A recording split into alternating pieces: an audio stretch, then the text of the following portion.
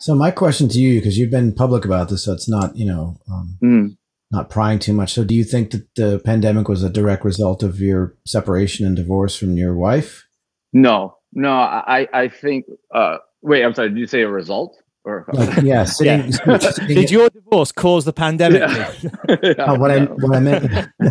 I, but I, but I do I do understand that thought. I do understand that thought. But no, I don't believe. You it. caused the pandemic. Yeah, yeah. No, flip that around. Do, do Okay. you think being home and, and pumping the brakes with your life made you realize that that Yeah. was irreparable? for sure for sure yeah um it's just there's t- you know i mean it's t- there's too much space there's too much space in, in the touring world you know? And i mean as romantic and, and ideal as it sounds to be able to compartmentalize um there's just too much room for people to grow apart.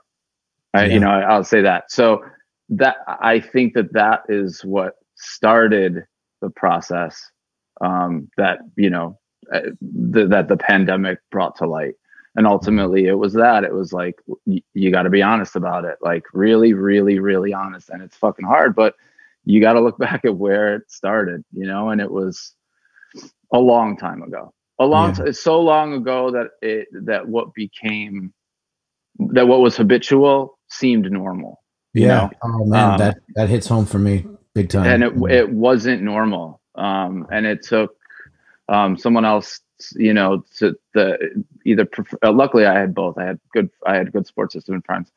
I had a good therapist.